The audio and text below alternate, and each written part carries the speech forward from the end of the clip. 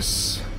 Nerds tetudos, fãs de jogos! Aqui quem fala é o Ogro, analista de eSports, com um vídeo muito especial para vocês, porque é um vídeo que eu tenho grindado pra caramba também em live, que são os colecionáveis, tá? O Lost Ark, ele tem aqui oito colecionáveis até o momento, cada vez surgem mais, né? A galera, principalmente do Oriente, gosta de grindar, muitos coreanos gostam de um bom grindão. Tem coisas que para nós brasileiros não vai fazer tanto sentido, mas eu tô aqui para dar uma luz pro seu caminho, tá? Primeira coisa, os colecionáveis não tem nada a ver com PVP, então se você gosta de PVP, é somente o Book of Coordination, mas você pode querer colecionar algumas dessas coisas, dessas cartas, dessas masterpieces, desses corações, para você ter mais poder no PVE para você ser mais eficiente, dar mais dano, causar mais destruição nas raids, nos abismos, enfim, conteúdo da guilda, tudo, tá bom? E aí eu vou te apontar exatamente o que te dá mais poder aqui. Você ganha mais poder com runas específicas que você precisa ter e também com pontos de habilidade, com skill points. Aí a gente vai para a primeira, Island Souls. Você precisa chegar pelo menos a 20 Island Souls para ter um Greater Skill Potion, tá bom? Isso aqui vai te dar mais pontos de skills para você poder distribuir, beleza? Os nossos colecionáveis, eles têm muitas referências cruzadas, beleza? Principalmente os Masterpieces. Então tenham atenção, porque você recebe Masterpieces aqui coletando Coração de Ilha também. Por que, que eu tô te falando isso? Né? E a gente vai chegar lá. Eu vou chegar nos Masterpieces aos pouquinhos. Skill Potion. Coração de Gigante é muito importante para você pegar, porque aqui você pega um, dois, três, quatro Skill Potions, tá? Então até 12, né, Giant's Heart, você consegue pegar também as Skill Potions. E as Masterpieces você consegue de, de formas bem diversas. Se você apertar o Alt L, né, que é essa interface aqui das coleções, você consegue inclusive acessar aqui Giant Heart, Collection Status, e você vê que, por exemplo, tem muito Giant Heart, né, coração de gigante, que é feito através de raporte, que é aquela medida de relacionamento com o NPC. Então tem Beatriz, tem Tuki Island de, de reputação, tem o Calvasus, tem outras, Nineveh, e são reputações bem puxadas tá? Não é à toa que o Coração de Gigante é tão interessante. Os Omnium Stars liberam a partir de Papunica e, cara, não tem nenhum tipo de problema. Não é difícil de farmar e as recompensas são todas excelentes, tanto em termos de runa quanto em termos de skill potion. Foi exatamente o que eu falei que a gente precisa farmar. E com 6 aqui, Omnium Stars, você já pega a última skill potion. Ainda tem com 7 a runa de protection, mas não é uma runa que a galera usa tanto, né? É uma runa ok se você tiver algum cache longo que precisa tirar um, um pouquinho mais de proteção, mas a protection é, roxa a gente já pega assim meio que né, ao respirar e ela dá 8% de max HP, então não é uma prioridade. Omnium Stars é tranquilo, é bem straightforward. Masterpiece. Por que, que Masterpiece é muito legal? Nós temos aqui, primeiro, os baús de gold, né? Primeiro, 3 mil gold, depois 5 mil de gold, depois 13 mil de gold. E por último, ainda tem um de 20 blá mil de gold aqui. 20 mil de gold, que é a última recompensa, tá? Dinheiro. A carta do Way é extremamente importante para você fechar o set Light of Salvation, que é o melhor set de cartas do jogo que aumenta o seu dano em 15%, transforma o seu dano todo em dano holy, né, em dano sagrado e aumenta o seu dano em 15%. Nenhum outro set é tão ofensivo e interessante assim, além de reduzir o dano negativo, o dano de escuridão que você recebe em 30%. Para você combater demônios, para você fazer é, raids enfrentando bosses que são de abismo, enfim, de escuridão, é muito, muito, muito bom 30% a menos de dano. Mas principalmente com 44 Masterpieces você pega essa essa runa chamada Judgment. E para algumas classes, a combinação de Conviction e Judgment, né, que são duas runas que você usa em par, primeiro você proca a Conviction depois você proca o Judgment para regenerar mais fácil o seu mana e também reduzir os seus cooldowns, é meta. Para algumas classes é simplesmente a melhor combinação de runas que você pode usar. E é extremamente difícil pegar a Judgment azul, extremamente difícil pegar a Judgment roxa que é com raporte, são 102 mil pontos de raporte. É um negócio que você não vai querer gastar somente para pegar uma runa roxa.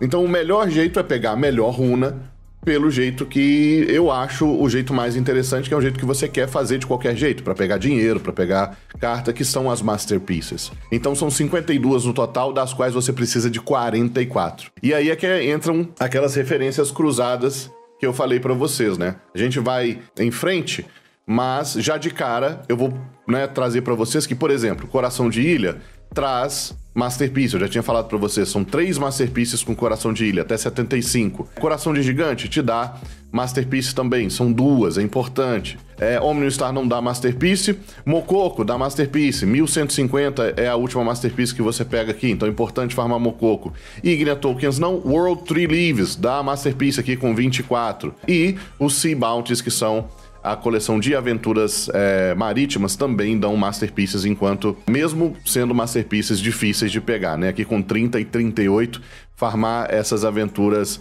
marítimas aqui nem sempre é muito tranquilo, tá? Inclusive eu tenho aqui. Com quantas eu tô? Tô com 4 de 47, é, é ridículo. O colecionável mais chato de farmar, sem dúvida nenhuma, e o mais irritante de farmar são os Ignia Tokens. Você ganha um Ignia Token toda vez que você vem e você completa um continente. Tá aqui, ó, 100% do mapa completado de Retrames, Yudia, é, Lutera, enfim. Ah, lembrando que o World Tree Leaves, né, as folhas aqui da árvore do mundo, são recompensas que você pega fazendo suas profissões, todas as profissões dão, e a maioria é aleatória, são drops. Então você vem aqui, por exemplo, de Collection Status, ó, Logging, Hunting, né? Isso aqui você vai fazendo, elas vão dropando naturalmente. É só desenvolver suas profissões, é bem de boa. Voltando para os Ignia Tokens, velho. Você tem ali com 10 Ignia Tokens, com 8 Ignia Tokens, na verdade, uma gloriosa é, Skill Potion e com 10 Delane Armen Card,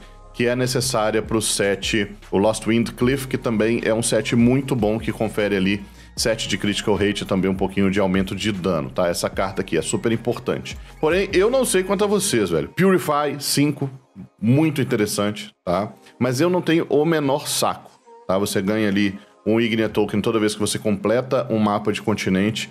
Mas eu não sei se vocês já fizeram um mapa de continente 100%. Os primeiros são até meio de boa, mas você precisa fazer todas as dungeons em modo normal, modo hard, você precisa pegar todos os pontos de vista, pegar colecionáveis aqui, fazer ingrediente de cooking, matar monstro. É um grind chatíssimo, na minha, na minha opinião, desnecessário e eu simplesmente não tenho saco para fazer isso, para coletar 10, 12, né, mapas.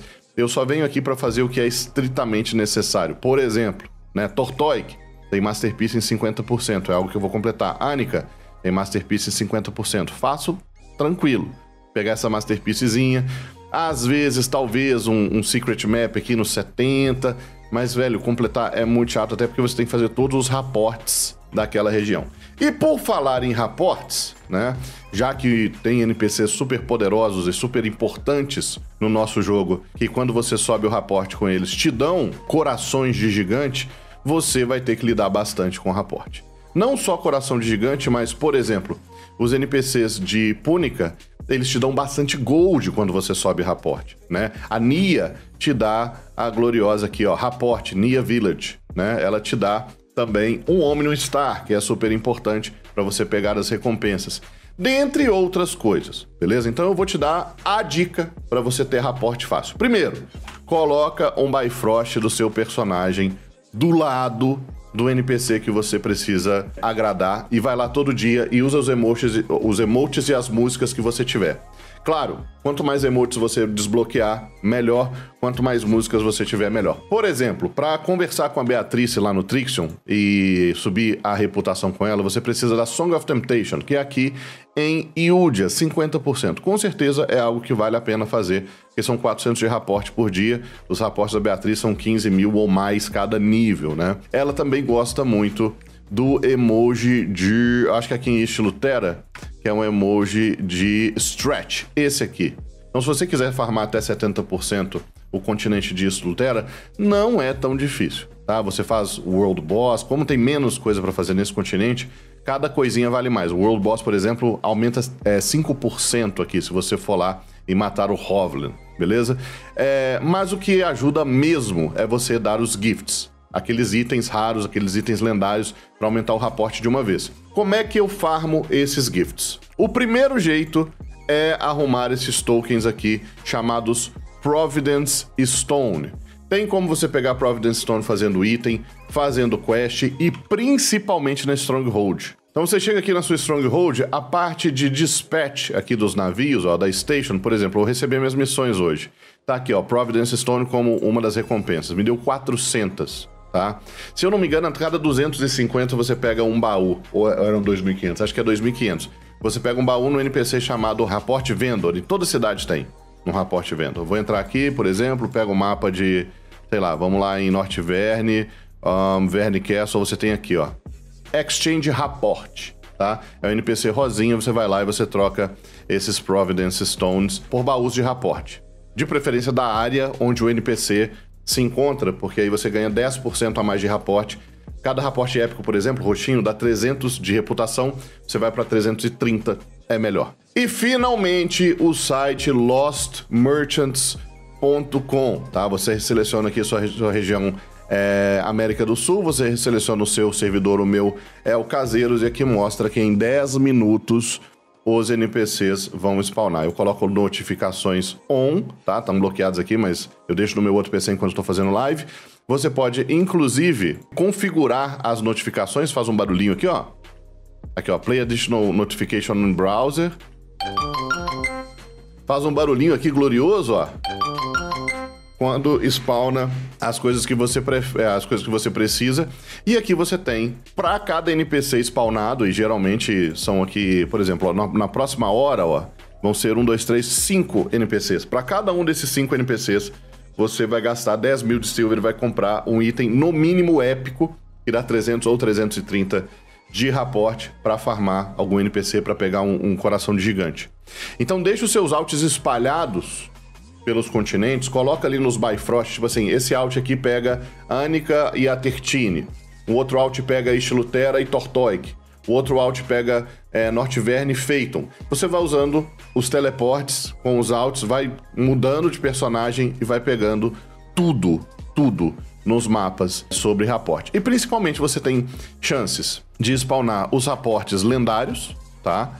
É, ontem, por exemplo, foi um dia que spawnaram acho que quatro raportes lendários, isso só enquanto eu estava fazendo live entre quatro da tarde e meia-noite na Twitch, tá? E você também tem a carta do Cian, que é importante pro set de Mococo, a carta da Séria, que é importante pro, pro set de crítico, um, o Lost Windcliff, e também a carta do Way, que é uma carta lendária, que é a carta para Light of Salvation, tá? Que spawna aqui no MAC. Então tem que ficar muito, muito esperto, tanto com o raporte quanto com a possibilidade de cartas. E isso aqui, velho, raporte, só por esses itens, por dia, dá para você pegar facilmente aí uns 10 mil de raporte. 10, 12 mil de raporte, se você ficar atento com esses mercadores. Spawnou? Para tudo que você está fazendo, loga nos alt, compra, vai ali, compra, né? Ele, é, esse site aqui, ele põe, inclusive, a localidade de onde, né? A primeira pessoa que chegar lá no NPC, na região, ela entra nesse site e reporta para todos os outros. É um site colaborativo, é muito interessante. De vez em quando tem um ou outro bobão que vai lá e põe os itens errados de propósito, fala assim: ah, no NPC aqui tem item lendário, mas não tem. Então tem até um, um, sistema de like e dislike para você ver se o pessoal tá trollando com aquela informação ou não, ou se a comunidade confirma que aquela informação é verdadeira. Mas isso é coisa de, de, de otário, é coisa de bobão, é a minoria que faz isso aí. A maioria vai lá e reporta certinho. E geralmente tem uma cartinha azul e um raporte épico. Às vezes rola um lendário ou outro, mas é muito raro, tá bom? Espero que vocês tenham gostado. Qualquer dúvida, deixa no, no campo aí de comentários. Deixe o seu like, compartilhe e se inscreva no canal. Lives todos os dias, de 4 à meia-noite, no canal twitch.tv barra Joga Como Ogro. Inclusive, tô farmando Masterpiece, porque eu quero aquelas 44 lá para pegar o Judgment lendário. Se vocês quiserem acompanhar conosco aqui, pegando Mococo, pegando Coração Gigante, farmando ilha, tudo, cola com a gente. Um beijo do Ogro. Nosso conteúdo é diferente.